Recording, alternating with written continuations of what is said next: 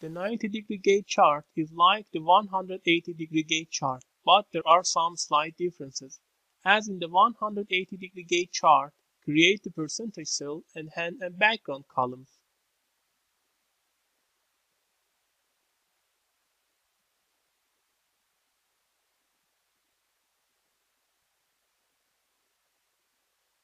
In the background column, write 270, 30, 30, and 30 respectively.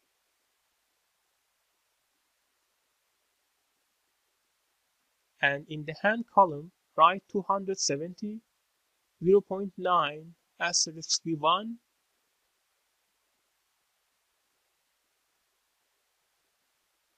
one and 360 minus A6 minus A5 minus A4 respectively. Select the background column, then from the Insert menu, select the donut chart.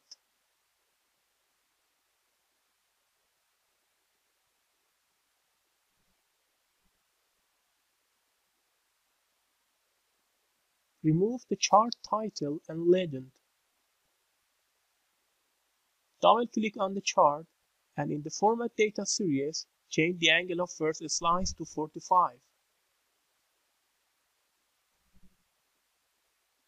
And decrease the donut hole size to make the chart more beautiful.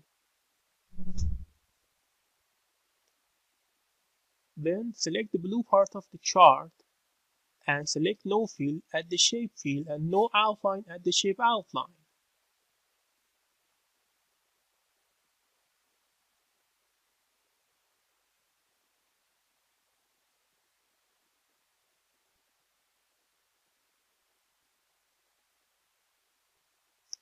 Then select the chart area and choose no fill and no outline for it.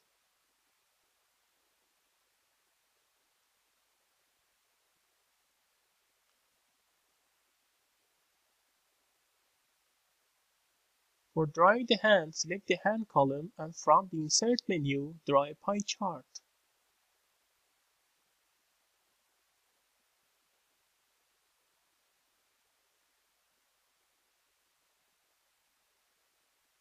Remove the chart title and legend. Double-click on the chart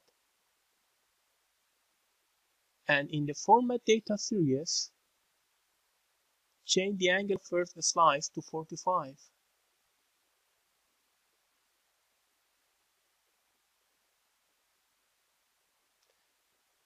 Select the chart and at the Format ribbon, select no fill for the shape fill and no outline for the shape outline.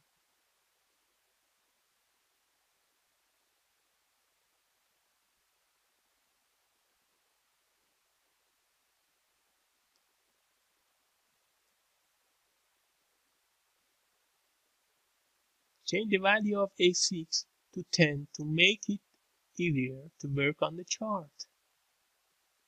Select the part of the chart that corresponds to cell A6.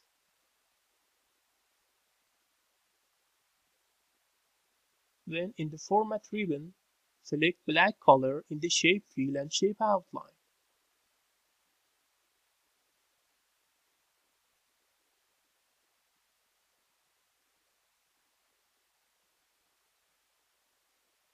For better appearances, select an effect from Shape Effects. Now change the, the A6 value to 1 again.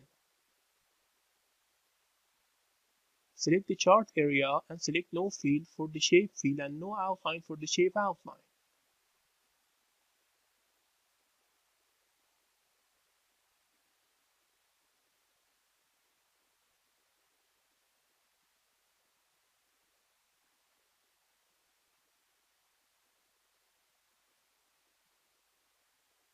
Then hold down the control button and select background and hand. In the shape format, select Align Center and Align Middle in Align menu.